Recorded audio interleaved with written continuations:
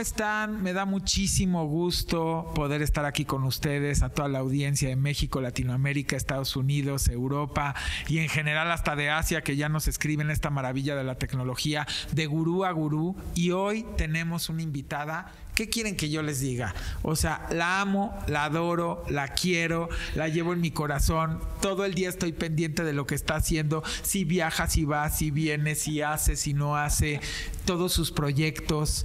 Les va a fascinar. Vamos a llevar un viaje por todo lo bello que ha hecho por este país una servidora pública, pero un ser humano comprometido con México, que ama el país, que ama sus raíces, que ama su cultura, que ama su historia y que ama a todos los mexicanos. Para mí de verdad se me llena el corazón de alegría y de amor de tener aquí a la secretaria de Cultura, Alejandra Frausto. Ale. Ay, querido. Me da muchísimo gusto estar aquí contigo. Sabes pues que te amo. Yo a ti, yo a ti. Estamos aquí en en la residencia oficial del pueblo de México. Y tú eres un hijo consentido del pueblo de México.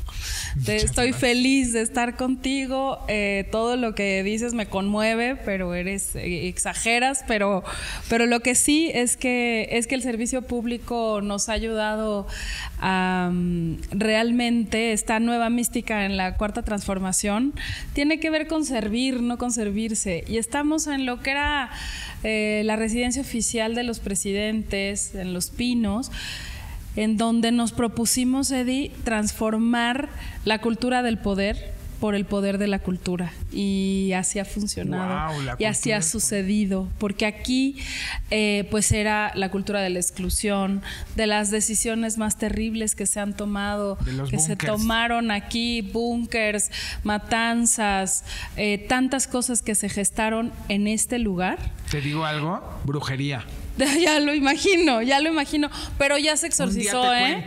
Ya se exorcizó. Un día te cuento. Han pasado más de 10 millones de personas por los pinos para disfrutar de lo más profundo que tenemos, que son las culturas de México y las culturas del mundo. Entonces, los pinos, pues se convirtió en este espacio de apertura, de libertad. Eh, y por eso aquí era importante que platicáramos. Este lugar, estamos en el edificio de Molino del Rey, es un edificio del siglo XVI, que era un, un molino de trigo, el primero molino de trigo en América. Y ahora, eh, bueno, durante mucho tiempo, al final era guardias presidenciales. Aquí estaba parte del Estado Mayor Presidencial que cuidaba al presidente, dormían, tenían oficinas, estaba un espacio como muy hacinado y pues este espacio se convirtió en el Museo del Maíz y la Cultura Alimentaria Sencali, que quiere decir Casa del Maíz. Y aquí estamos volviendo a formar a una generación en la cultura alimentaria que somos. Aquí hay una milpa escuela afuera, se cosecha, ya tuvimos la segunda cosecha, todos los fines de semana pueden venir aquí a comprar productos agroecológicos sin agrotóxicos, sin glifosatos, sin glifosatos y todas esas cosas que ni se pueden pronunciar. Aquí eh, la cultura alimentaria ya no es un privilegio, ya no te tienes que ir a una tienda cara para comer orgánico.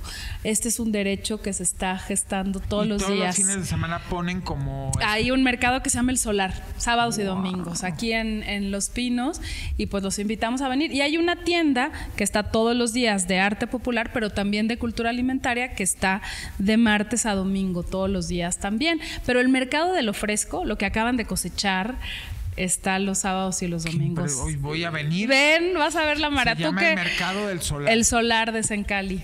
así es. Entonces estamos en este em, cuarto piso de Sencali del Museo del Maíz y pues es uno solamente de los enormes espacios que estamos haciendo aquí en Chapultepec. Sin maíz no hay país. Sin maíz no hay país. Esa manta que está allá atrás es la manta con la que marchamos de Sin maíz no hay país durante muchas marchas de varios artistas y está aquí porque es una memoria de esa lucha em, y que nunca había habido un gobierno como el del presidente que defendiera los maíces nativos, que defendiera el cultivo ancestral de la milpa, que nos enseña a ser comunidad, porque ahí no se da solo el maíz, se da el maíz, el frijol, el chile, la calabaza, y eso nos nutre completamente. Y así es la cultura, la cultura y, nos va enseñando cómo podemos hacer todo en comunidad, no uno solo, uno solo no, no somos capaces de hacer nada, hay que hacer comunidad. Y aquí está la milpa para enseñarnos. Pero está increíble y también decir que es, padrísimo el saber que también participaste en todo el tema de la defensoría junto con Raquel Buenrostro, junto con un gran equipo para que aquí se siga respetando el que no haya genéticamente modificados, granos genéticamente modificados, que le ha hecho tanto daño hormonalmente al mundo. Si la gente se enterara por qué hay tantos problemas de enfermedades que vienen de temas de genéticamente modificados, entenderían porque aquí se ha defendido y que tú también participaste y que doña Raquel Buenrostro Raquel que es una guerrera extraordinaria de verdad en donde la ponen siempre también lucha y es una persona de una pieza y, y, eso es lo que me fascina de este movimiento que platicamos justo antes de empezar el programa. Eso es lo que me gusta de la 4T es un movimiento donde hay verdaderos servidores públicos con pasión para servir que no es un trabajo es una pasión y se nota. Y, eso creo que enamora. Y cuando te das cuenta que ahorita que vamos a ir por este viaje, de todo lo que has hecho en estos, pues ya prácticamente cinco, años, ahí se van a dar cuenta todo lo que ha sucedido y que a lo mejor muchas veces en gobiernos anteriores se dedicaban más al reflector que a hacer. Y tú te has dedicado a hacer y prácticamente nada al reflector, pero también es importante hoy que la gente lo sepa. Eso es bien importante, que nos ayuden a comunicarlo porque se van a sentir contentos del, proceso que se lleva a cabo en la Secretaría de Cultura. Y yo creo que un principio que nos propusimos con el presidente fue que la cultura fuera un eje de transformación. Eh, y para hacer un eje de transformación hay que ayudar en los problemas torales, hay que irnos al territorio, hay que ayudar en los, en los asuntos estratégicos. La cultura se le pues encasilló o dejó eh, como un accesorio que nos podemos quitar o poner. No extraordinarios accesorios como los tuyos, sino un accesorio quitapón. Si me deja el tiempo y el presupuesto, pues ahí está la cultura medio para adornar. queda bien. Eh, exactamente. O una agencia de relaciones públicas. Cuando en primer lugar, la cultura es un derecho humano, reconocido en el cuarto constitucional. Es una fuerza económica poderosísima. Estamos hablando que la cultura representa el 3% del PIB mundial, 2.5 billones de dólares, sin contar la, eh, las expresiones informales, todo lo que tiene que ver con la artesanía, todo lo que tiene que ver con la cultura alimentaria, las cocineras tradicionales, tanto más es la cultura. Solamente lo formal representa esa cantidad. sin contar turismo que también. Exactamente, exactamente. Entonces, eh, uno de los ejes de transformación tenía que ser la cultura y por eso no se le ve y ni se le verá nunca más como un accesorio. En todos los proyectos prioritarios del presidente tú tienes el eje de la cultura como un eje central. En el AIFA es un polo cultural, es un centro paleontológico, es una, una hacienda del, este, que, histórica que hay que visitar. En el Tren Maya es un corredor cultural. son cultura. Todo todo. Entonces, este espacio, Los Pinos, era el primer símbolo que había que conquistar, porque era el espacio de la exclusión, el espacio donde todos estábamos prohibidos, el espacio donde nadie podía cruzar, siquiera por la banqueta no se podía eh, caminar, no podían pasar los aviones. Este, este lugar, pues era, se convirtió, la funda Lázaro Cárdenas, en una casa de un tamaño normal, que está ahí como museo de sitio con la herencia de Cárdenas. Eh, pero después fue creciendo y se convirtió como en una ciudad prohibida. Y cada quien llegaba y hacía lo que quería aquí cuando llegaba. Hay muchas construcciones hechas y rehechas. Lo encontramos vacío, eso es muy importante decirlo. No había, bueno, ni un comal para calentar una tortilla aquí, no había nada. Eh, y pues se ha ido transformando en un espacio que solo las culturas le podían devolver la dignidad. Pero no había inventario que, eh, se pudiera Todo el inventario de, presidencia lo cotejamos, eh, lo que le entregaron a presidencia. Presidencia ya después nos entregó a Cultura a Los Pinos pero por ejemplo yo quería poner una mesa de estado como se montaba, como se recibía y les preguntaba todavía a las personas que nos en transición, ¿dónde están las vajillas para que yo pueda mostrar? Y pues yo pregunté tanto por las vajillas que la respuesta que tuve fue, pues todavía alcanzas el buen fin si quieres una vajilla. Así fue de duro eh, y de, de confeso. En fin. Este lugar está transformado, está vivo, más de 10 millones de personas han pasado por aquí, pero eh, abre la compuerta, es un, es un ejemplo de lo que está pasando en la cultura también en el país, porque estaba muy centralizado todos los esfuerzos de apoyos a la cultura y tal. Entonces se abre y se convierte en estas 800 hectáreas de bosque cultural que trabajamos de la mano del gobierno de la ciudad para convertirlo en este acto de justicia urbana, porque el bosque de Chapultepec estaba amurallado para colonias que no tenían acceso a, espacios verdes, espacios culturales, y bueno, ha sido toda una, transformación que pasa por aquí. Por eso lo pongo como un símbolo inicial, pero tiene que ver también, Eddie, con, con, formar a la cultura como un derecho eh, y dónde queda aquellos lugares en donde más cultura encontramos, en donde más riqueza cultural encontramos en el país. Muchas veces en los lugares que mayor marginación tienen, a los lugares que se abandonaron, las comunidades indígenas y afrodescendientes. Entonces, armar una política en donde no tuviéramos miedo de volver al origen de la riqueza cultural que somos, eh, somos una potencia cultural reconocida en el mundo, pero en México durante muchas décadas se fue, como te decía, volviendo solamente el espacio de las bellas artes desvinculado de algo que le llamaban cultura popular, como si fueran dos mundos que no se tocan. Cuando en realidad una abreva de la otra siempre. La ópera fue cultura popular en un momento y en un lugar. Pero tienes razón, era como un élite. Esa división es absolutamente clasista y racista, porque es entendida, ¿de quién podría entender eh, a Mahler y no eh, tiene que, ah, no, a ti lo que te gusta es eh, la cultura popular que es el, el son de tierra caliente?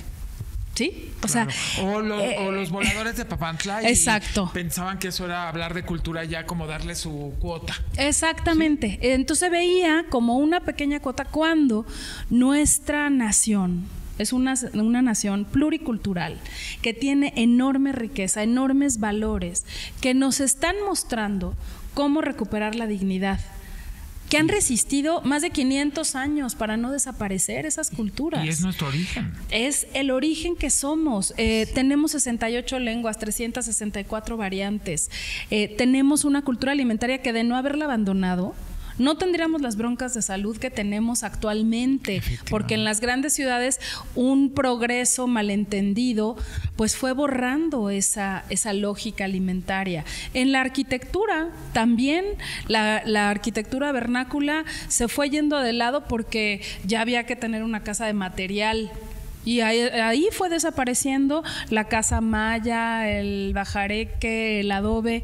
El adobe que están tratando de volver Estamos trabajando en ello, estamos trabajando en recuperar esas raíces culturales como nuestra mayor riqueza. Entonces, el proyecto de cultura se basó en reconocerla como un derecho, un eje de transformación, con tres principios. Libertad, la defensa total y absoluta, radical a la libertad creativa hemos enfrentado momentos difíciles con el tema de la libertad creativa. ¿Te acuerdas el caso de Zapata, del, cuadro que, tuvimos amenazas?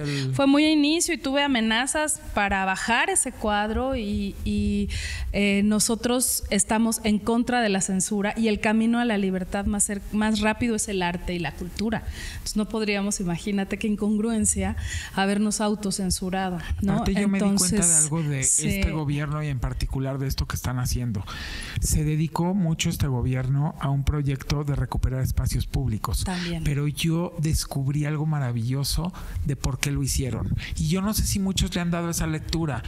Cuando tú recuperas espacios públicos, generas eh, eh, igualdad, porque casualmente a los espacios públicos va gente de, todo. lo sociocultural, socioeconómico. O sea, tú, por ejemplo, ahorita que están haciendo todo esto de los pinos, Chapultepec, que van a terminar y todo, vamos a ver cómo confluyen, que ya lo vemos acá. Sí cualquier eh, mexicano. Y entonces rompes ese clasismo también, rompes el racismo, pero rompes también la brecha de esa desigualdad de los de aquí van acá y los de aquí van allá. No es, somos comunidad y todo mundo puede estar pasándola padrísimo en un espacio público. y eso se lo reconozco mucho a la 4T. Y eso es algo que debemos de continuar en este país y en el mundo, porque donde hay espacios públicos hay hasta salud mental, hay salud eh, física. Hay paz. Hay paz. y hay unión y hay camaradería. Hay unión. La cultura tiene el poder de unir. Sí. De hacer puentes entre mundos que parece que no se tocan. Porque ahí nos reconocemos todos. En el espacio público es donde realmente una sociedad se reconoce a sí misma. Entonces, lo que tú dices es muy valioso y muy cierto. ¿Qué pasa? Que con el sistema neoliberal todo se convirtió en negocio. Y tú para tener, o sea, el paseo del domingo era ir a un centro comercial.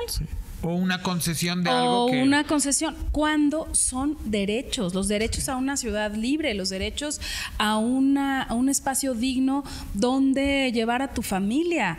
Eh, y no tiene por qué ser un negocio. Es un derecho. Entonces, ahí en la recuperación de espacios públicos, todo lo que se ha hecho en Sedatu, lo que estamos haciendo en Chapultepec, lo que estamos haciendo con el tema de reconstrucción, que es recuperar los espacios comunitarios de los pueblos. Que lo he visto. Eh, eso, eso es un trabajo. Muy cañón. Está impresionante, que, eh, sí. Que ojalá y nos compartan mucho tema de fotos y vamos videos. Vamos a mandarles videos, sí. Por, De cada cosa que vamos hablando. Gracias. Porque creo que el viaje visual también para las personas es maravilloso. Y el poder conectar y ver todo lo que han hecho. Yo porque estoy muy pegado a ti en la parte de redes y veo y veo cómo vas a las iglesias de los pueblos y vas aquí y vas allá y prácticamente eres como un trota México porque no paramos. bueno, tenemos un maestro de cultura así, Andrés Manuel López Así es. nunca había visto una Secretaría de Cultura tan activa. Ayer lo dije en una cena por primera vez veo funcionarios activos en territorio y no de escritorio. Ay, así me cansé de ver, lo digo eh, como pues ciudadano, me cansé de ver funcionarios de escritorio. De escritorio y aparte que las decisiones no se pueden tomar de la misma manera con un país que no se recorre, con un país que no se conoce. Entonces nosotros decidimos bajarnos del palco, irnos a la tierra y ahí, por ejemplo, lo que tú dices, reconstrucción, los templos son los corazones de las comunidades. Es independientemente de la parte de la fe, que es muy importante en la comunidad, son los centros donde se reúnen. Es las fiestas patronales vas a encontrar la mejor, lo mejor que comen, lo mejor que danzan, lo mejor que visten. Es ese momento. Y volvemos, es no hay desigualdad. no, es, todo, el pueblo, toda la comunidad. Y son tesoros. Tenemos, nosotros somos el sexto país a nivel mundial en patrimonio cultural. Eh, reconocido por la UNESCO y somos el primero en América Latina. Entonces, eso te refiere a que estos sitios sagrados que se construyeron en la época colonial, se construyeron donde eran los sitios sagrados prehispánicos, en su mayoría en su 90%. Entonces tú encuentras un sitio ritual o sagrado que ha, que ha sido un sitio sagrado por generaciones, independientemente de la época si es una religión católica actual o es eh, los rituales que casi siempre, volvemos, están relacionados con el maíz y con el agua y con la fertilidad. Y esa es nuestra ritualidad. Entonces, eh, reconstruir este año 926 obras en ocho estados de la República, pues por eso andamos para, para aquí, para allá. a mí me tiene impresionado. Es, algo... digo, a ver, ¿en qué momento, a qué hora, cómo, dónde? Que no estabas allá, sí. sí, porque aparte ayer estabas en Oaxaca, hoy estás acá, mañana. Sí. De repente te toca ir a giras con el presidente, de repente te vemos aquí, te vemos allá. O sea, de verdad, de verdad que la gente tiene que saber lo que ustedes están trabajando. También te decía yo que veía yo a este Meyer Falcón, que está todo el todo el tiempo revisando obras. digo, este hombre también está todo, todo el sexenio se la pasó trabajando. Y, creo que es importante que, la ciudadanía lo sepa, que el pueblo sepa lo que están haciendo sus funcionarios, porque entonces no se quedan con la idea de que, ah, sí, alguien lo puso, alguien la puso, quién sabe, no, aquí no hay lo puso y la puso Aquí es, el proyecto, el movimiento y todo por México, hacia México, por, el, bien común, por la gente. Mira, Eddie, este, no hay una comunidad, no hay un pueblo que no tenga fuerza cultural. No existe. Somos una potencia cultural, pero había que reconocer esas fuerzas culturales para detonar otros temas, como los semilleros creativos. Que eso ahí en donde, ¿cuál es nuestro principal objetivo? Los semilleros creativos están en aquellos lugares donde la fisura social, lo que más nos dolió del abandono de décadas, dejó heridas más profundas en donde se desató la violencia, ahí somos capaces de desatar la paz a través de la cultura. Porque también recompones el tejido social. Es ahí. Y es desde la niñez. Apostarle a una generación en donde la niñez y la juventud necesita opciones. Tú sabes, son esponjas. Necesitamos darles opciones desde lo más valioso que tenemos, que es la cultura y las expresiones artísticas. Entonces, por ejemplo, lo que es capaz de hacer la música, la poesía, el teatro, el cine, la fotografía, el circo, en la vida de niños, la danza, en la vida de niñas, niños y jóvenes, que todas las tardes no tenían opción, ahí vas haciendo una nueva generación. Entonces, los semilleros creativos son estos proyectos que suceden. Tenemos 428 semilleros, en el país. En una en las zonas en donde menos había pisado la política cultural. Y ahí siempre va a haber artistas con los cuales conformar una actividad este, comunitaria. Lunes, de lunes a viernes, cuatro horas diarias los niños de los semilleros están todas las tardes, van a la escuela en la mañana, van a comer y después llegan al semillero. Y ahí se está conformando una nueva sociedad. ¿El semillero es un espacio que designó la Secretaría de Cultura o es una escuela que después se convierte en un espacio donde se puede... Mira, los espacios son muy variables. A veces es un espacio comunitario, a veces es una cancha, a veces es una escuela, pero el semillero lo que es es una compañía artística permanente y gratuita para la niñez y la juventud. Ellos eh, lo único que tienen es que ir todos los días, de lunes a viernes, tres horas, y ahí se transforma esa, esa comunidad a partir del arte. Puede ser un coro, puede ser una orquesta, puede ser una compañía de teatro, puede ser una... Pero los maestros son de la misma comunidad. Los maestros son de la misma comunidad. Y eso, porque ahí va a haber alguien que tenga, se hace una convocatoria, se estudian los mejores perfiles y se les da, además de la disciplina que tienen que manejar bien, que de ahí se deriva qué disciplina se va a conformar y también tiene que ver con las identidades de las comunidades, porque no vas a forzar a hacer una orquesta clásica en un lugar en donde no vas a tener un maestro de corno francés en tierra caliente. Ahí tienen la poderosa fuerza del son. ¿No? Entonces ahí, en vez de que sea un quinteto, son 90 niños haciendo lo mismo, leyendo música, y eso nos hace que cerca de 15 mil niñas y niños y jóvenes estén dedicándose todas las tardes a la cultura y estén siendo parte de la compañía artística más grande del mundo. ¿Y de qué edad a qué edad están? Mira, habíamos empezado de 8 a 18. La verdad es que tenemos desde 4 años hasta algunos que ya rebasaron la edad y se quieren quedar y se quieren quedar como promotores culturales ayudando al semillero. Tuvimos la invitación hermosísima del presidente a participar el 15 de septiembre en el Zócalo. Em, vinieron cerca de 900, eh, bueno, cerca de mil niños a participar en el Zócalo, a presentar los poemas que ellos escriben en un poema escénico, su música.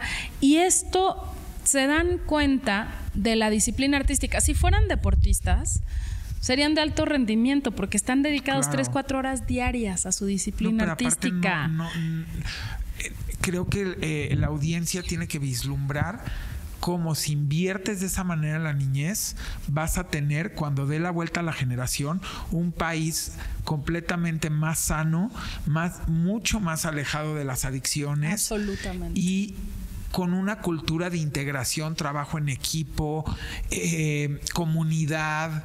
Y luego esos niños seguramente querrán ser los maestros de su comunidad. Porque también estás generando una, perdón que lo diga, valga la redundancia, una generación de próximos maestros. De algunos ya lo son, algunos ya siguieron la carrera artística, por ejemplo, hay algunos que se van al conservatorio y todos los veranos los dedican a los semilleros de su comunidad. Se van a trabajar a su comunidad porque vas generando ciudadanos conscientes, uno, de que lo más importante no es el individualismo ni de lo material a toda costa, sino de la comunidad.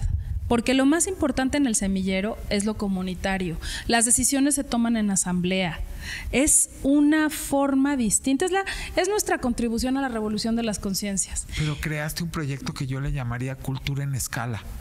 a escala, porque es como la economía en escala. Así es. O sea, lo que con lo que nos estás platicando y que para mí también es una sorpresa, porque yo sí sabía de los somilleros, pero no como el DNA y, como la raíz.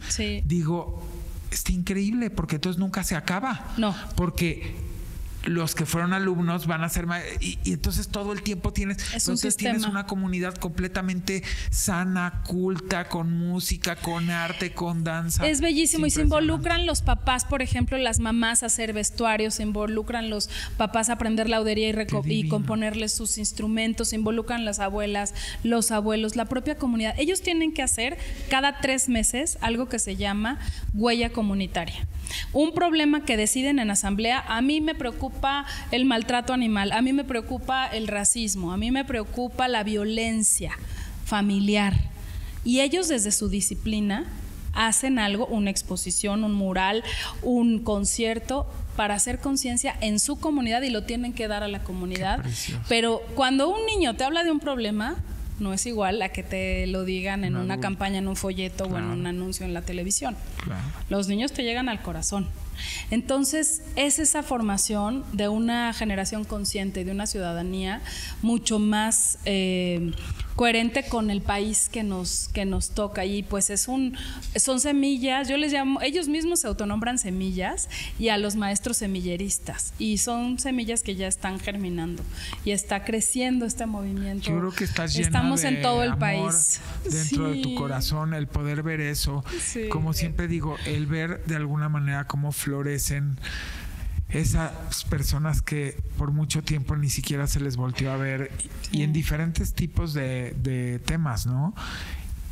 Es que es precioso. Ayer, ayer lo hablábamos también en la cena, lo precioso que es ver florecer a la demás gente. Eso. Es divino. Y ese es el humanismo mexicano, ¿eh? De eso se trata, de que si no servimos, no servimos. o sea, si no somos, ¿a qué, vinimos? Mejor digo, para un puesto, pues búscate una empresa, otra cosa. Pero aquellas personas que tuvieron menos posibilidades, ¿no? Durante mucho tiempo. Afortunadamente, las artes están cubiertas, los apoyos a la creación están garantizados en el cine, en el teatro, en las artes visuales. Las becas se han dado miles de becas, mucho más que antes, aunque eh, los medios y los que repiten lo mismo siempre digan que se acabaron. No, se acabó un mecanismo que era un fideicomiso. Eso no quiere decir acabar con un apoyo. Al contrario, ya están reconocidas dentro de los programas de la Secretaría. Se reconfiguró y se eficientó. Sí. Porque, y transparentó. Claro, porque había mucha cosa opaca. Pues había como, sobre todo como grupitos de poder que manejaban todo. Entonces, lo que abrimos, el secreto es abrir los jurados. Claro. Los jurados son de todo el país y entonces más del 70% de las personas que tienen beca tienen derecho todos, ¿eh? los que siempre las obtuvieron a participar y otros más. Pero ahorita el 70% de las becas nunca habían tenido contacto con el sistema. Es como lo que cuando nos hablan de lo de la entrada a la UNAM, ¿no? Que me dicen muchísimo, oye, pero es que es toda una política. Y, y entonces imagínate lo frustrante para el joven que ah, no, puede entrar a estudiar esa máxima casa de estudio, que tanta ilusión tiene y todo porque hay todas unas estructuras que no, y te lo digo porque me dicen mucho los jóvenes mucho, me escriben. La frustración de los chavos al no entrar a la, a la UNAM, digo, yo soy Puma de corazón, em, yo estudié ahí y, veo lo difícil que es y luego ya ahora es un negocio hacer el curso y el ex es, es muy duro Pero eso no lo debemos de eso no y por eso las universidades Benito Juárez y por eso eh, jóvenes construyendo el futuro saca una convocatoria ahora justo cuando están rechazando a los jóvenes de la UNAM. Qué bueno pues porque, que les den alternativa, que les den alternativa para seguirse formando antes de que, que vuelvan a hacer el examen, ¿no? Claudia fue una gran luchadora de que la UNAM no se privatizara. Así es, por la autonomía, bueno, ahí, ahí Entonces, ahora que va a ser presidente, porque eso lo puedo decir yo Estamos con todo el gusto del lo mundo, porque lo sé, lo sí, sé lo que eso va a suceder. Tengo cuatro años diciéndolo. y te voy a decir cosas que se me ocurren. Me encantaría que Claudia hiciera un esquema de mantener a los mejores secretarios y Ah, darle no. continuidad. Definitiva, no, esto es como ciudadano, yo lo digo. Lo que han logrado muchos de ustedes, la curva de tener que volver a recomenzar y de volver a empezar y de volver a retomar, créemelo, hasta en una empresa sucede, te lo digo como empresario, Como es una friega. Y cuando haces las cosas bien, lo que hablan las best practices, las mejores prácticas, es maravilloso que cuando el gobierno pasa de estafeta y no hay un cambio, o sea, una alternancia, y es dentro del mismo proyecto, sí se mantengan, y eso te lo digo a, a todo lo- no, y te lo digo a todos los niveles de funcionarios.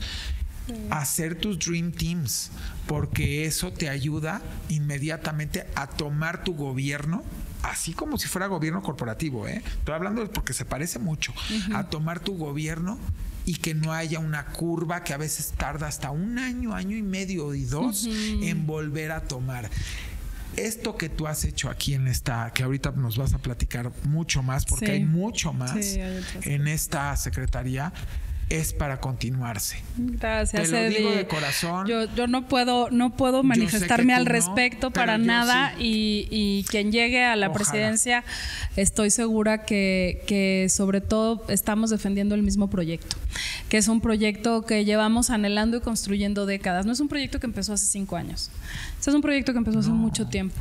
Este trabajo lleva haciéndose y lleva recorriéndose el país y anhelando un sistema de derechos varias, varias generaciones, muchos que ya no lo alcanzaron a ver, vidas. pero que costaron vidas. Y esta revolución, no por ser pacífica, es menos revolución. Claro. Es una revolución muy profunda. El haber logrado que cultura se convirtiera en un sistema de derechos y no de privilegios. Se dice fácil, es un sector complejo.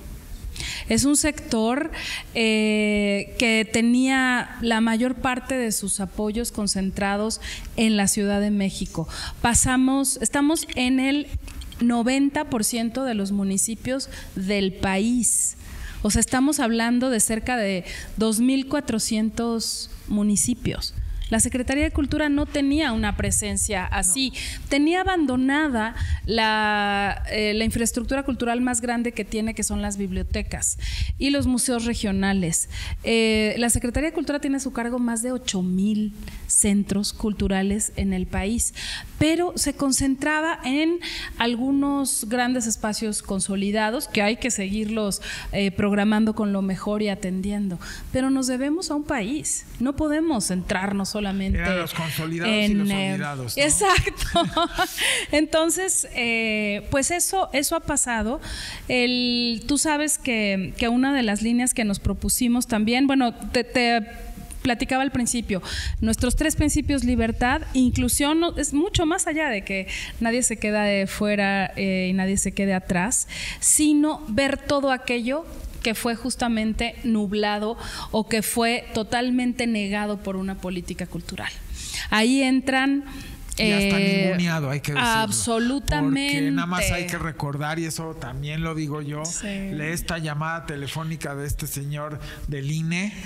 Sí, de un racismo brutal. jefe chichimeca, no Eh, sé qué, tal, tal, tal. Eh, O sea, esa era la. Qué chistoso, voy a decir algo bien extraño.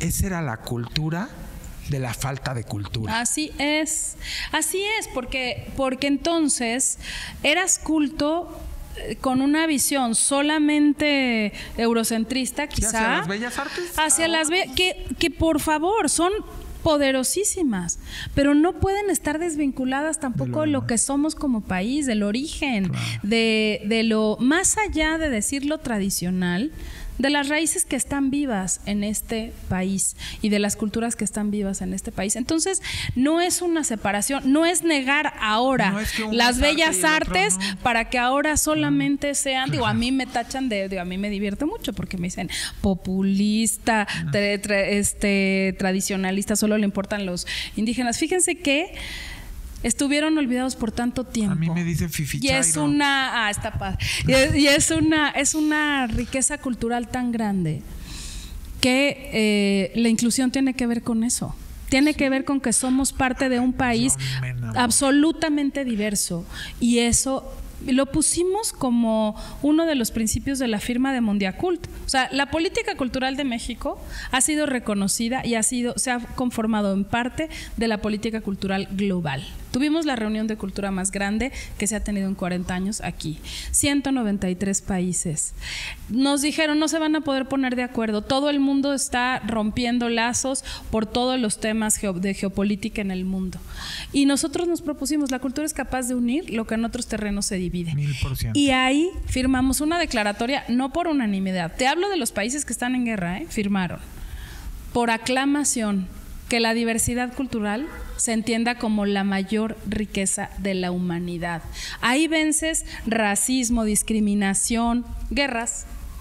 Lo que decíamos, no puede haber desigualdad porque es, es, es, es algo que finalmente todo mundo puede y nadie puede ser negado a accesar a la cultura. Y no es lo que tenemos, es lo que somos. La cultura es lo que conocemos cuando nacemos y lo que vamos a dejar cuando nos vayamos. Pues Entonces, no podemos eh, no incluir a una parte. la diferencia, lo interesante es que desde la diversidad, que es el tercer principio, somos un todo desde tu diferencia, desde mi diferencia, desde la singularidad de cada quien somos capaces de unirnos en la cultura. Entonces se logró eso y se logró otra cosa, Eddie, que, me gustaría comentar en esta oportunidad de comunicar con, los amigos que, son tantísimos que te siguen. Em, que la cultura también había de recuperar su dignidad a partir de los elementos eh, pues más sagrados. Las piezas arqueológicas que se, que se convirtieron, como en el neoliberalismo se convirtió todo, en una mercancía. Nada más vulgar que ponerle precio a nuestra identidad el que estuvieran en subastas en Europa nuestros vestigios arqueológicos, las piezas que nos dan identidad, es una tremenda ofensa. Entonces iniciamos una campaña que se llama Mi patrimonio no se vende y empezamos a eh, pelear con las con las casas de subasta, abrir la conciencia de los posibles coleccionistas. con la doctora. la, doctora ha sido una aliada absoluta de esto. y en las redes y, con todo y mandando cartas, insistiendo, porque hay que decirlo así, que la audiencia lo sepa, lo que ustedes han peleado por todo eso que está en las casas de subasta en las casas de subasta y que no les pertenece. Y, quienes iban en la inercia decían, ay, pero siempre han denunciado, hombre, no van a lograr nada. ¿Qué van a lograr? Van a, eh, su legislación les permite vender. Pues sí, pero apelo a lo ético y apelo a la conciencia de posibles compradores. ¿Por qué me voy a quedar callada ante esa, ante esa ofensa? Entonces, bueno, llevamos al día de hoy más de 13 mil piezas repatriadas a México. Impresionante. Y no necesariamente de subastas. Las subastas vienen de algunas que evitó o que, o que canceló eh, los carabinieri de tutela del patrimonio cultural en Italia. Pero en otros países tienen otra política. Pero de esos países, de Francia, de Alemania, de Estados Unidos, una cantidad de coleccionistas que dicen, yo, ¿cómo tengo esto? Van para allá, en Barcelona entregaron más de dos mil piezas una familia y eso ha ido permeando en el mundo y también se firmó en Mondiacult y todos los países nos comprometimos a evitar el tráfico ilícito de bienes culturales y a la recuperación y la repatriación. No solamente son objetos, son parte de nuestra identidad. Y esas piezas se distribuyen otra vez en museos. En los museos regionales. Lo importante es que vayan a las regiones de las cuales provienen. No concentrarlo otra vez aquí todo, sino que, que se recuperen a los lugares de los que nunca debieron haber salido. recuperar su origen, o sea, como parte de su origen. ¿cómo, cómo no te, si no te reconoces como un joven palencano en el señorío de tu grandeza cultural, pues puedes estar vendiendo cosas chinas afuera de una zona arqueológica, Pues sí. ¿no? Cuando eres y provienes de una Te cultura, te pones tu identidad y, y te sientes orgulloso de quién eres. Entonces, es, es lo que está haciendo el presidente, Me está recuperando la di- no bueno, la no no sabe 13,000 13 mil piezas. Óyeme. 13 mil llevamos. No, no, es, nunca, históricamente nunca habíamos tenido una recuperación tan grande Y tampoco habíamos en el tenido país. una, no le yo no le digo primera dama, una esposa del señor presidente que se dedicara al activismo de recuperar, de recuperar las y de ayudarnos la historia, a el arte del defender país. la memoria de esta de este sí. país. A mí me encanta porque Beatriz dice, pues no hay mujeres de primera y de segunda, yo por qué voy a ser Claro. una primera dama, no hay damas de primera ni de sabes segunda. que es lo más hermoso y, Y- sin el reflector. O Sí, sea, no, no, muy discreta, pero muy contundente, ¿eh? Muy contundente en la parte de Sí, exigir sí, que sí, devuelvan, sí. pero nunca como, y ahora vean, o sea, esa es la parte que yo digo que es maravilloso. Han trabajado Para por lo que les apasiona, que es México y los mexicanos. Y eso es algo que yo nunca vi, que nunca ni siquiera voy a decir la verdad. Soñé que podía verlo. Pero ¿sabes por qué no lo soñé? Porque ni siquiera lo imaginé. No imaginábamos. No era algo que imaginaba, o sea, como que veías como parte del paisaje a los servidores públicos, ¿no? De ahí están en su escritorio, ahí están Pues la foto golf, y la foto y la foto. Ya se subieron al avión este, ya se fueron Sí. para acá. Y creo que nos fuimos normalizando Sí. esa dinámica tan equívoca. Y eso es lo que también, por eso hablan de la revolución de las conciencias, porque nos abrieron la decir, señores, no porque siempre se hizo así quiere decir que estaba bien hecho, ¿eh? Recuperar la mística del servicio público es fundamental, Eddie. Y sabes a qué también nos ha ayudado mucho Beatriz? A una guerra que emprendimos y tú también nos has ayudado mucho, acuerdo, muchísimo, que tiene que ver con los plagios a las culturas vivas del arte textil de México. A eso que le llaman apropiación Origin- cultural, apropiación ¿no? cultural. A veces un robo, es un plagio, claro. ¿no? Entonces, digámosle a la este, audiencia un poco que les expliques Sí. de qué significa de lo que estamos hablando. De lo que estamos ¿Qué hace hablando. la industria de la moda vendiendo piezas en miles de dólares, Sí. plagiando el arte de nuestros El eh, arte de los, de los pueblos que están vivos. ¿eh? Porque, a ver, eh, ejemplos de marcas del mundo que de repente toman un huipil del istmo como el que traigo y deciden eh, copiarlo, mandarlo a replicar en, este, en una maquila, ponerle una etiqueta eh, y venderlo en una tienda en Nueva York con, por miles de Le dólares reclamamos a Isabel Marant. a Isabel bueno, Marant, a Carolina Herrera, pero ha habido buenas prácticas y buenos ejemplos después de eso, ¿no? Este, ¿qué pasa? Que la industria voraz de la moda tiene que tener ética también. Y si están trabajando eh, creativamente, ellos saben el valor que tiene la creación y el valor que tiene una creación original. Si se piratean entre dos marcas, las Claro. demandas son millonarias. Son las ideas, es un ¿cómo te derecho. puedes llamar diseñador si plagiaste el diseño, El diseño de los alguien más. que son los pueblos Pero ¿por qué? Porque si les robaban todo, Sí. si los despojaron de todo, ¿por qué no lo iban a ¿No te volver a hacer? Las piezas que veíamos y en Sí, dos mil dólares, cinco mil. claro. Decíamos, Oye, a ver, Oye, ¿cómo? y- claro ¿Y que- por qué no ni siquiera vienes al país a mandarle a hacer a las personas y a pagarles eh, bien por Pero las fíjate piezas? que nosotros vamos más allá, porque las comunidades no son mano de obra tampoco. No, es, ay, yo voy a hacer mi saco lindo y tú me lo, me lo bordas Sí, no. y lo firmo yo. No. No, no, no. Son, si Dale hay cooperación, hay co-creación. Claro. Hay manera de trabajar de tú a tú, de creador a creador, y ya hay buenas prácticas al Creo respecto. Cristian Louboutin lo hizo apenas con una colección hace un año y medio, pero hizo todo en eh, la región maya. Pues el, lo Que es puro importante y bolsas, ¿no? ya No es ropa. no claro, lo importante es que se firmen, que se reconozca la identidad y que se gane igual. Claro. Porque eh, esa es una, Sí, una no cooperación. no. ¿eh? No. Entonces, para eso tenemos Original. Original es una política pública que tiene ya impacto internacional, que han venido. Estoy enamorado, Este, Original, tú nos has estado acompañando y ahora queremos que estés en las pasarelas, que nos acompañes a una de las siete pasarelas que se van a hacer aquí, que son puestas en escena. ¿Qué pasa en Original? Nosotros respondimos a estos plagios con una propuesta. No estamos cerrados al mundo, no, las comunidades quieren vivir dignamente de su creatividad, de lo que son capaces de hacer como comunidad creativa. Claro. Hay elementos que no están a la venta, hay elementos que son rituales, que son propios de su cultura, pero hay otros tantos que quieren hacer para vender, tener lugares dignos de mercado y pueden desarrollar su economía a partir de un espacio digno de venta y de una colaboración. Ya nos demostraron que están abiertos los mercados del mundo, aprovechémoslos. No, y Entonces, vas a volver a poner todo el. Vamos a hacer la gran venta. La gran venta de original va a ser más grande que nunca.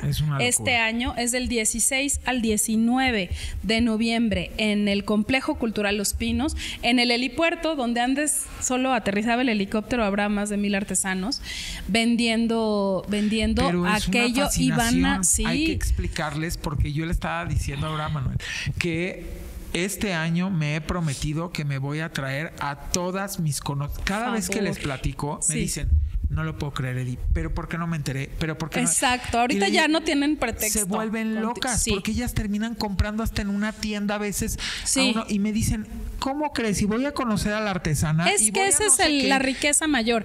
Imagínense, nosotros traemos las artesanas, se les paga su carga, su estancia, como cualquier artista que se va a presentar en un lugar. Eh, y aquí tienen un espacio de venta. En ese espacio de venta ustedes van a encontrar las técnicas, pues las van a encontrar a ellas. ellas, más del 70% son mujeres, por eso digo ellas, perdón, maestros.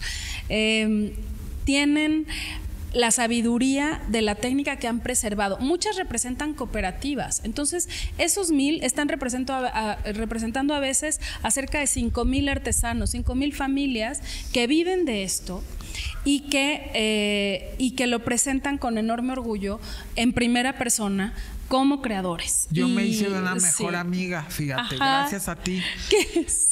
me tocó que me sentaras al lado de una bellísima, bellísima, bellísima mujer indígena de 70 años de Chiapas. Pero estamos en el Carmen Vázquez. Sí. Ay, estamos en el WhatsApp. le mandamos un saludo. Carmen, te amamos. Pero ella cuando Premio Nacional de Artes, ¿eh? Y lo que me ha explicado de cómo le enseña a las niñas jóvenes y a las adolescentes y cómo va haciendo algo de cultura entre las generaciones. No, tiene y que, habían estado y que habían estado borrados. Tiene que venir todo tiene que venir todo el mundo original. De, veras que sí. Mira, van a venir van a participar, porque también se convirtió en parte de la declaratoria de Mondiacult, eh, porque no somos los únicos que sufren el tema del plagio. Entonces muchos países se interesaron en esta política, vienen 22 países a participar. Esta vez, ah.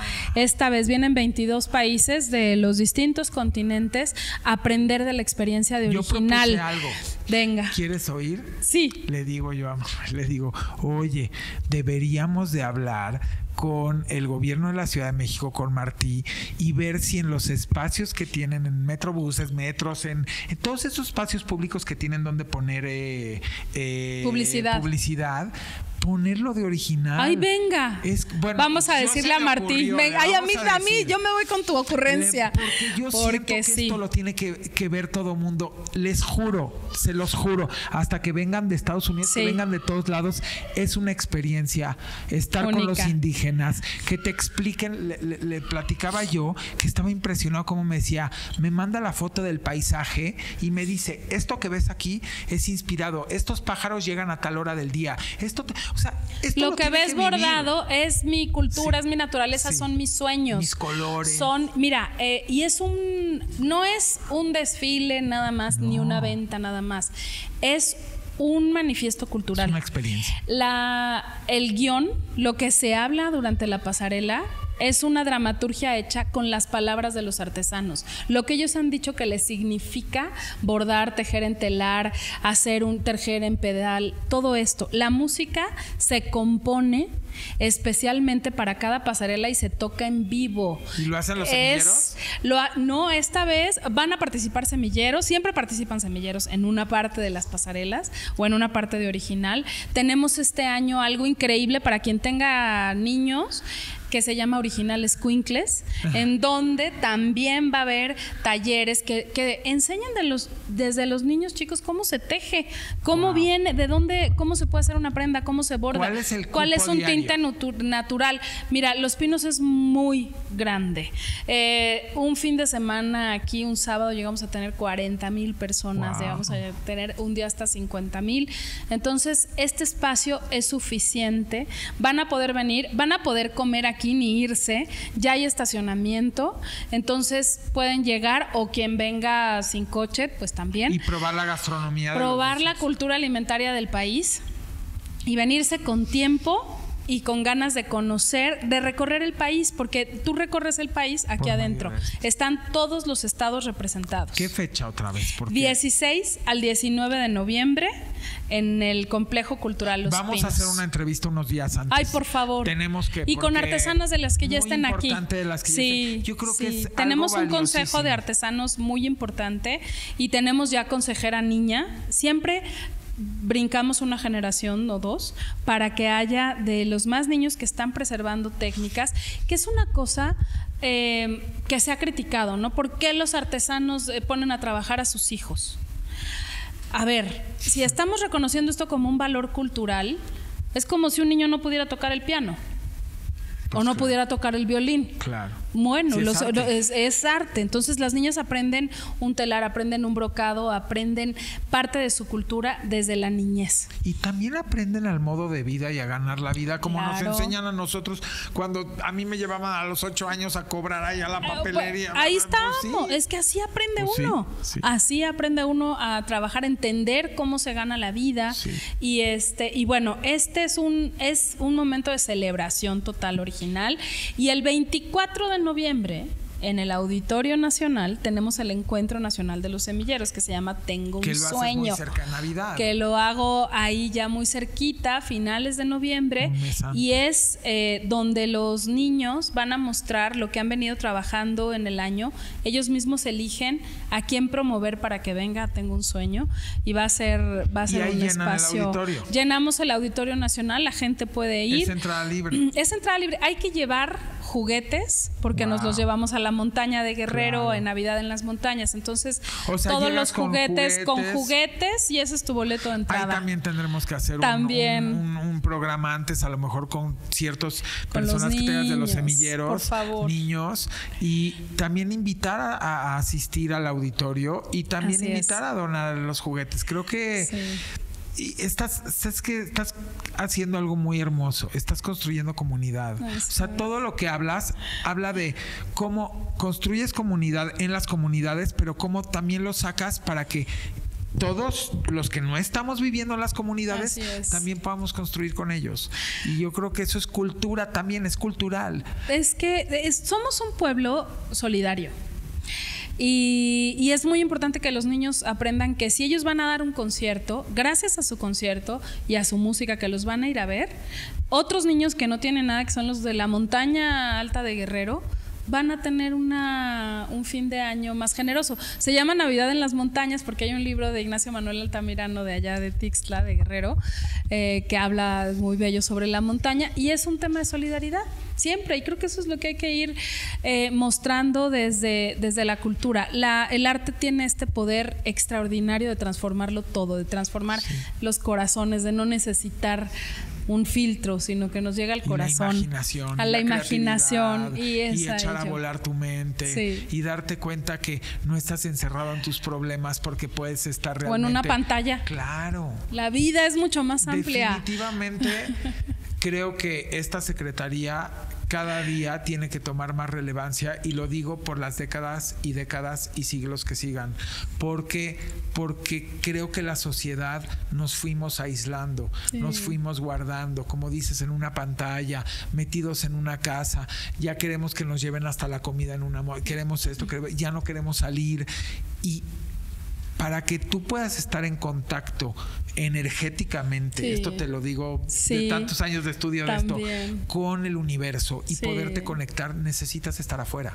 Necesitas hasta a veces quitarte los zapatos y pisar, la tierra. La tierra. Aquí pueden venir a pisar la tierra, a caminar en medio de una milpa, en medio de la Ciudad de México. En Australia ahorita está de moda que ya no sé si te has dado cuenta que ya está el grounding, que ya no usen zapatos, que la gente ande caminando, pero porque no sé si tú viste este estudio, que si yo mido tu voltaje, porque los seres humanos tenemos voltaje, si yo mido tu voltaje con zapatos y en un lugar cerrado, vamos a decir una casa, un espacio, y luego yo voy y lo mido ya sin zapatos, tú pisando la tierra, ¿no crees cómo el voltaje sube la energía de, de, dentro de tu, de tu organismo? Entonces, aquí también invitar a que, ya que cultura está rescatando el arte, la danza, la música, todo lo que está pasando y encima los espacios públicos, porque estás muy conectada también con el tema de los espacios públicos. Y con la naturaleza en este bosque. Por favor, o sea, salgan, salgan. el gobierno está haciendo un esfuerzo para rescatar los espacios públicos. Salgan con su familia, no permitan que se encierren. Estamos viviendo eras de mucha depresión, de mucha ansiedad. La parte de salir y tener contacto. De respirar aire, de tener, tenemos, vivimos en un país libre. Vivimos en un país en donde los derechos están permeando a la mayoría. Este bosque de Chapultepec ya es un ejemplo. El, vivir dignamente seguro, el tránsito en 800 hectáreas. Oye, todo lo que para eh, cruzar. Para cruzar, que, te digo que cultura es unión. Entonces, esa, es, esa calzada flotante que diseñó Gabriel Orozco. Pero vamos a ir hasta la cuarta sección de Chapultepec esto antes de que se nos vaya a acabar el tiempo es bien importante que lo sepan. Vamos a, estamos construyendo desde el proyecto Chapultepec Naturaleza y Cultura también, que será totalmente accesible para las personas con algún tipo de discapacidad, de discapacidad o movilidad reducida, el cablebús Chapultepec. Las cuatro secciones de Chapultepec, primero se abre Los Pinos, se une la primera sección, se hace la calzada flotante, se cruza la segunda sección, que tenemos el Centro de Cultura Ambiental, lugares divinos para que la pasen gratuitamente con su familia, ya están abiertos. Va a haber otros espacios que se van a inaugurar en diciembre la tercera sección es muy grande y es la más agreste. Es donde están las barrancas. Pues ahí ya se puede pasear. Hay unos senderos que se llaman serpientes y escaleras. Tenemos cuidado de la Guardia Nacional y ya se puede pasear libremente. y la cuarta, ya, pueden, ir. Hay un espacio que se llama el Parkour, que es el Parque de Cultura Urbana dedicado a los jóvenes para que hagan eh, skate.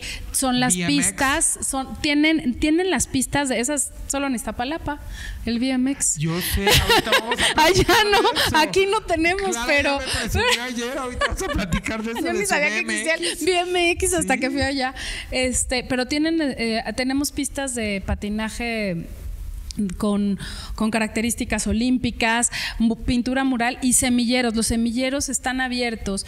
Estos semilleros, ahí también en Los Pinos y hay allá en Santa Fe y hay en el Parkour, siempre están abiertas las inscripciones, son gratuitos.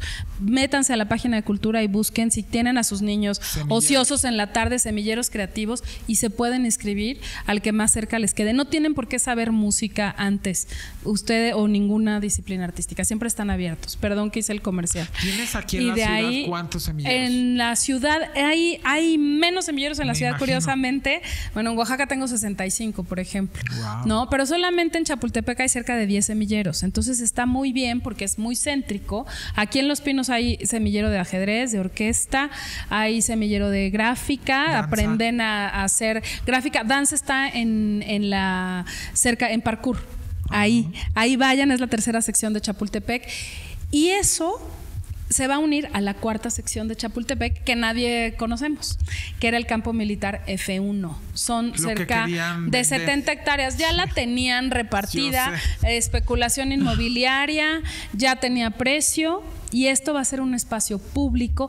Todo este principio de volver a lo público, a la gente, lo que era o exclusivo o un negocio, o privatizado como el, como el Atlantis y el rollo, que es el parkour ahora o eh, la cuarta sección. Ahí era la industria de Armas de la Secretaría de la Defensa Nacional, con quien tenemos una colaboración extraordinaria. Les agradecemos todo lo que nos ayudan. Oye, cómo te recibe todo mundo. Por favor. La Guardia Nacional, la gente de seguridad. Toda la gente de seguridad. Mira, todo mundo lindo. Eddie, y eso es bien importante porque les encanta y están ayudándonos en las zonas arqueológicas. Y hay un comando de la Guardia Nacional de defensa del patrimonio cultural. Eso bueno, jamás.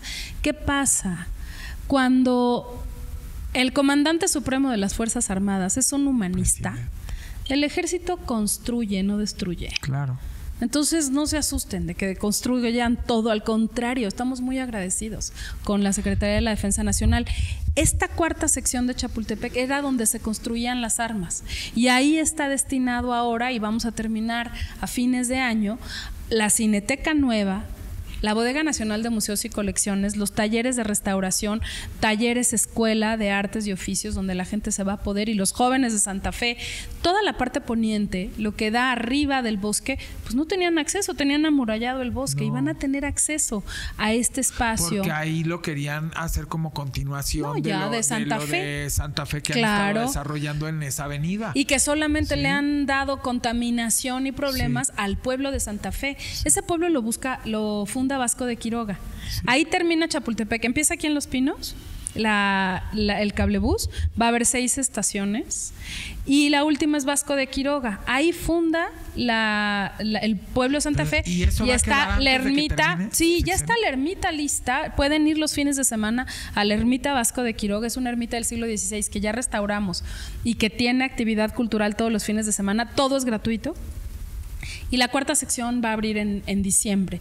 Eh, eso es un lugar en donde se va a transformar profundamente. Imagínate el símbolo de la ex fábrica de cartuchos siendo el lugar donde conozcamos las colecciones de arte del país. Pero aparte es inmenso. Es enorme. No, vas a poder recorrerlo. No, pues todo Chapultepec, no, es muy grande. Estamos haciendo, eh, te vamos a invitar a un, unos, se llama un día en Chapultepec, para ir recorriendo los espacios que ya están abiertos. Eh, pero imagínense cuando tengamos el cable bus, tú vas a poder ir de Los Pinos a Santa Fe en 21 minutos, sin contaminar, sin estar parado en constituyentes. Eh, y 7 pesos va a costar. Pero aparte, imagínate, si tú vives, haz de cuenta, en Lerma. Exacto. Te, vienes en el. es, eso es lo máximo. Te vienes en el insurgente. Está conectado como. Ah, pues te lo imaginaste perfecto. Porque van a venir la gente que viene en Lerma o de Toluca, van a llegar a la, a la estación Vasco de Quiroga y se conectan en el cablebús y llegan a Los Pinos en 20 impresionante lo que ha pasado. Entonces, esto todavía no lo alcanzamos a ver porque lo estamos haciendo y se está abriendo eh, paso a paso todo este proyecto. si no tengo que seguir insistiendo como todos los ciudadanos en que nos necesitamos la continuidad. La continuidad del proyecto, por favor, y, aparte trabajamos este proyecto muy de la mano. Claro. Este, este trabajo se hizo de la mano del, del gobierno de la Ciudad de México. El presupuesto es federal, es un proyecto prioritario del presidente, pero en colaboración estrechísima con Claudia, con Claudia y, ahora con Martí y todo su equipo. Eh, la concepción general lo amamos, lo, amamos, somos somos compañeros de la desde desde facultad. Este el Gabriel Orozco diseñó, hizo como la parte conceptual. Y lo que es más bello es que la gente ya se lo apropió.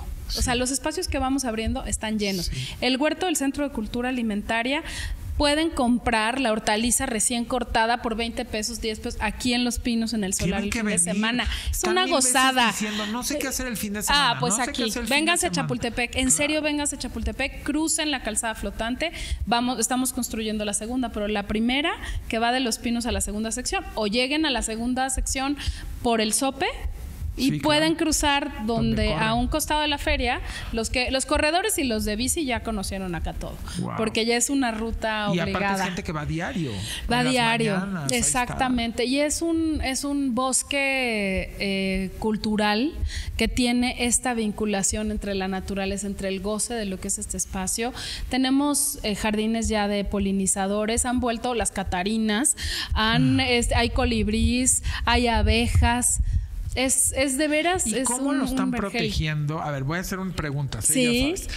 ¿Cómo están protegiendo para que a cualquier eventualidad, así le quiero llamar, no pudiese querer que se regresara, que fuera una residencia de, presidencia? Es una muy buena pregunta, querida Eddie. como otros proyectos que los este hicieron que de seguridad nacional o de tal que lograron como protegerlos. Mira, está ya eh, pasó de presidencia a la Secretaría de Cultura. Este ya es patrimonio de la Secretaría de, Cultura.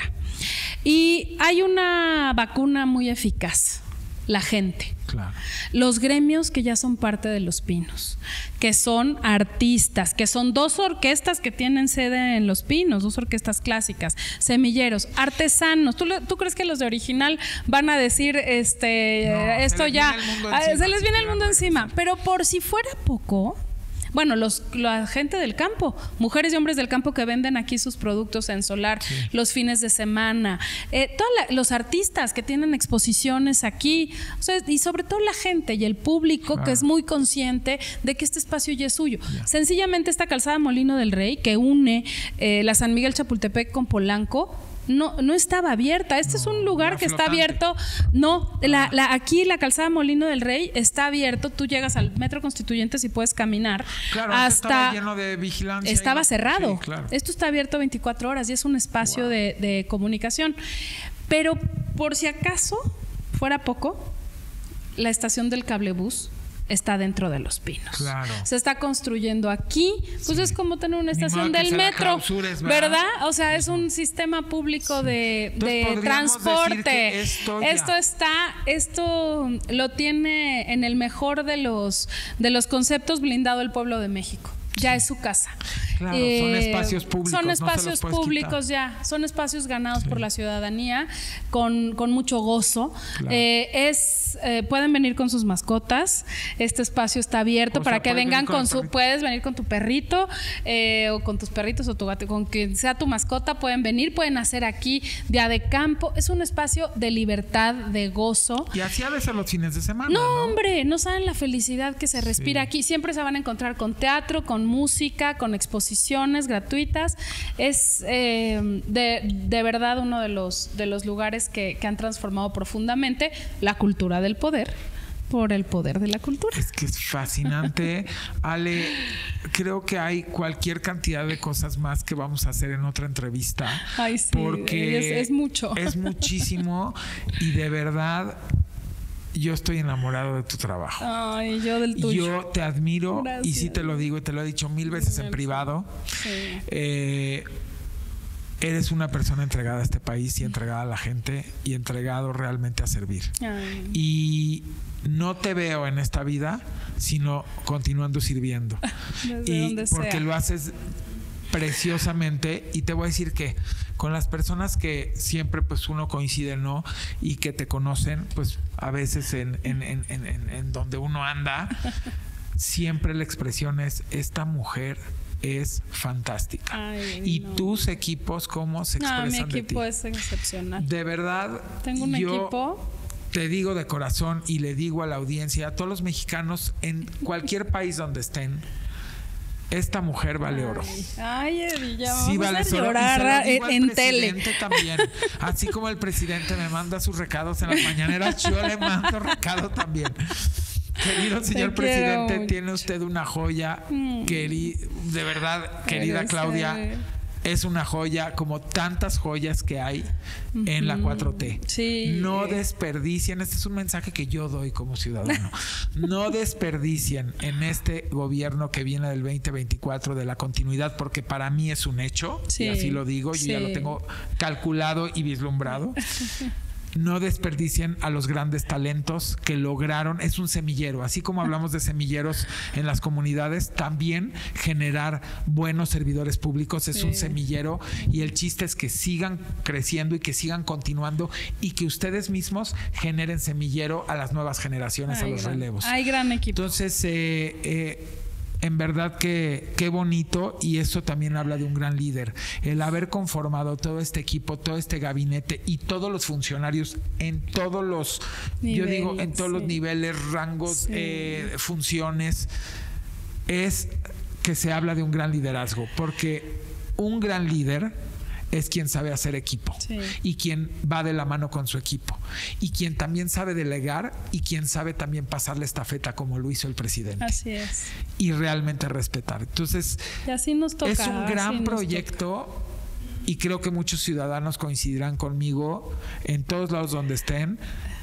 Es precioso que haya llegado la transformación. Y yo lo digo y siempre repito, gracias a la vida que nos dio la oportunidad de estar viviendo este tiempo en este México, porque quizás pudimos no haber estado, no haberlo vivido, no, nos pudo haber tocado esta época o simple y sencillamente nos pudimos haber ido, ¿no? Vienen, venimos de un COVID, venimos de un, tema duro donde mucha gente dejó... De una crisis económica en el mundo y aquí hay una bonanza no, no este, irresponsable. Claro pero hay una manera en donde la, donde la gente leía que el índice de felicidad más grande es el de México ahorita. está muy, muy interesante. Es lo que muy interesante cómo se está estudiando la economía, cómo se está estudiando eh, el humanismo mexicano ya como un fenómeno. Es, un es un privilegio total de todos los días saber que, que, servimos a este país, pero con un líder como Andrés Manuel López Obrador. ¿Qué te digo, Eddie?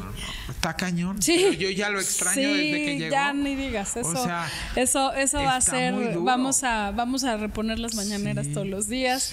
Eh, nadie merece descansar más que él. Sí, pero se le va a extrañar ah, mucho. Eso, yo digo, va, va, cuando arranque el tren va a sonar la voz de Andrés Manuel. Cuando aterricemos en el aeropuerto, ahí va a estar Andrés Manuel.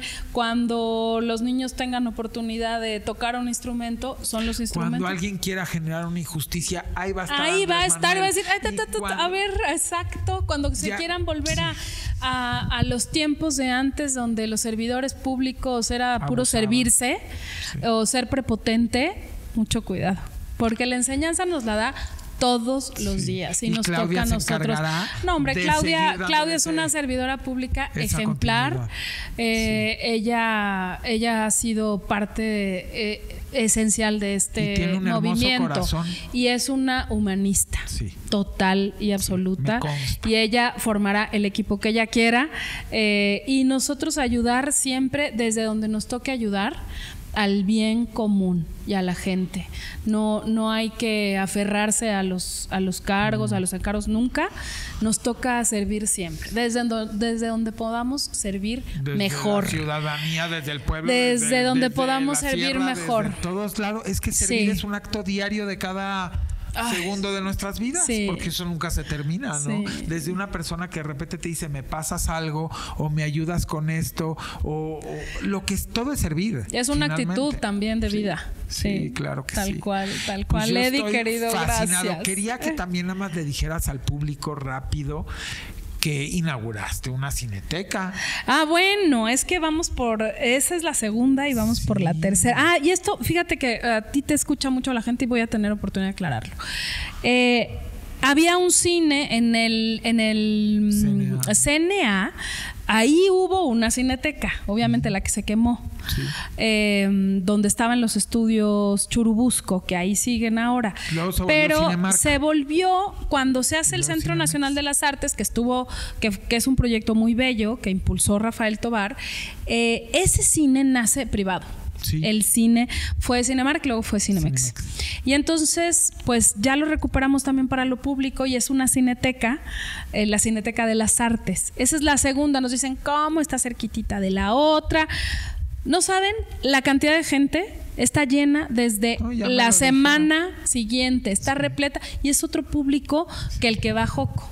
Y vamos por la tercera cineteca, Chapultepec, que esta, esta cineteca es, es otro público, va a haber también formación de oficios para el cine, es bastante grande y tiene un foro al aire libre, un cine libre para desde matiné, porque va a ser una pantalla que no existe en otro lugar así, un cine al aire libre también gratuito. Y va a haber 10 salas de cine. Wow. 10 salas de cine extraordinarias. Es un proyecto de un arquitecto extraordinario, Mauricio Rocha, y está quedando divino ese, ese espacio.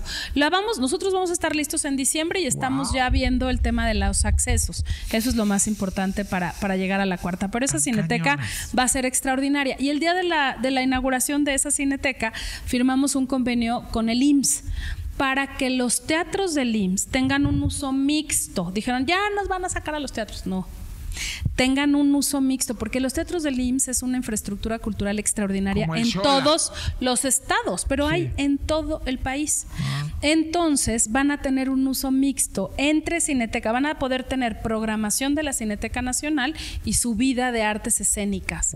Este es un convenio que firmamos con SOE y estamos detonando todo ese programa de trabajo a toda la República, que nosotros no tenemos cinetecas en todos los espacios. No es la parte de conservación y todo lo que hay en la Cineteca Nacional, pero sí la programación y el acceso. No solamente es importante hacer el cine, que se están haciendo muchísimas más películas que antes, películas también en las 31 lenguas que nunca habíamos visto, cines de, de todo el país, nos estamos viendo como ese gran espejo, pero también es importante que se vea.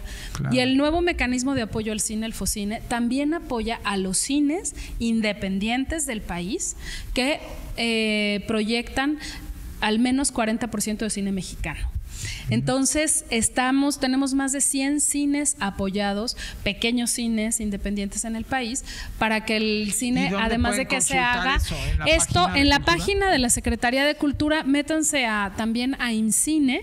Eh, las convocatorias siempre también están abiertas para los cineastas, para los productores, eh, para quienes tienen interés en restaurar alguna película, también hay un área de restauración, y para el corazón de las películas que son los guiones, que antes no se apoyaban tanto, que es que pues para que haya una buena película tiene que haber un buen guion. Y qué miedo, porque ahora quieren hacerlo con este, inteligencia artificial. nunca, hay que trabajar de manera ardua todos los días para que el humanismo avance a la misma velocidad que la inteligencia artificial y que la tecnología.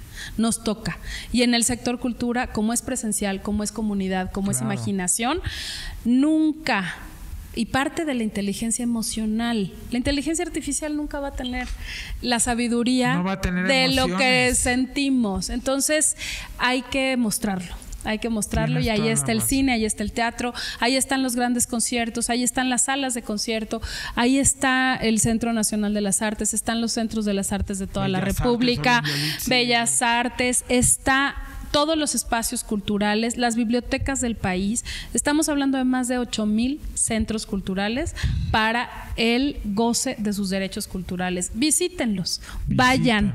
En vez, de, en vez de irse a un centro comercial, vayan a, una, a un museo comunitario, vayan, vayan a los espacios que tenemos, a este, los espacios públicos, a los espacios públicos y, y se van a encontrar y consulten qué semillero les queda cerca para que sus hijos se inscriban. Y para cerrar, solo decirte, tú fuiste la que me enamoraste de una persona que conocí el día de ayer me hablabas de su capacidad de trabajo, de su capacidad finalmente de, sentimiento y de servir y, de toda la parte social y de cómo había reconfigurado completamente Iztapalapa y lo había convertido en algo que jamás se pensó, las utopías, toda la parte que, que ha hecho. Y ayer que la conocí, que pude de viva voz poderla escuchar, me quedé con la boca abierta, Ale. Eh, de verdad que tenías toda la boca llena de razón y más. Eh, qué impresionante Clara Brugada. De verdad, qué mujer tan trabajadora y es donde digo, por eso digo, donde voltees en la 4T hay, hay gente muy impresionante, pero algo que rescato mucho de ti es la humildad de reconocer el trabajo de un compañero. Y casualmente dos, tres, cuatro, cinco veces la mencionaste.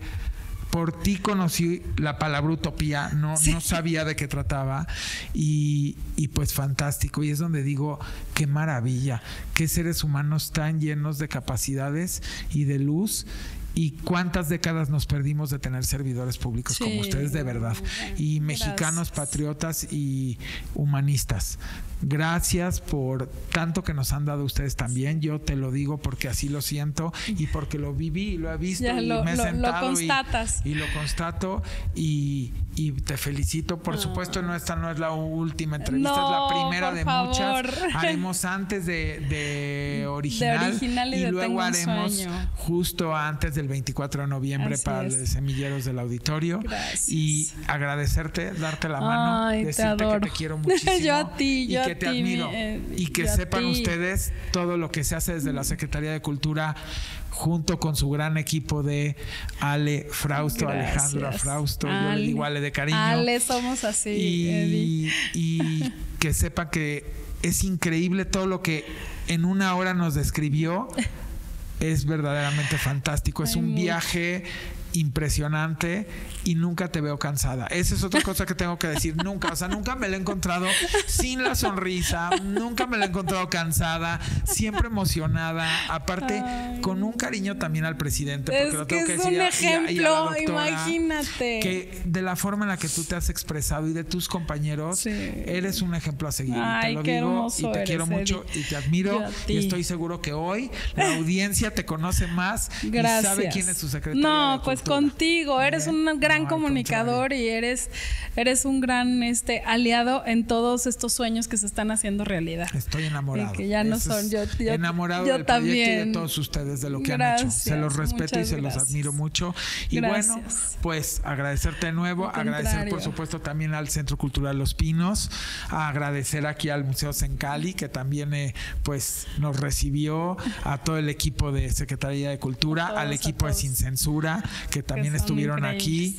Les voy a contar una anécdota porque ya saben que a mí me gusta hablar de todos mis defectos, que eso es lo más importante.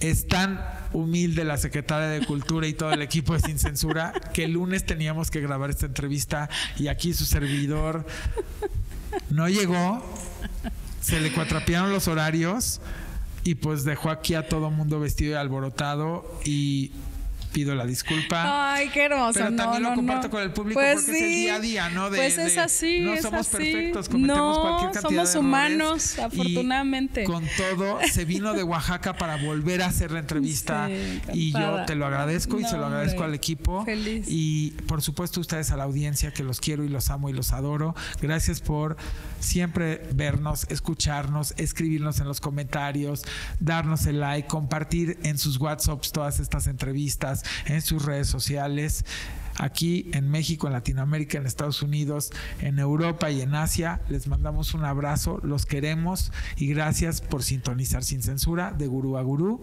Y les mandamos un beso y un abrazo y nos vemos la semana que viene. Gracias. Adiós. Saludos.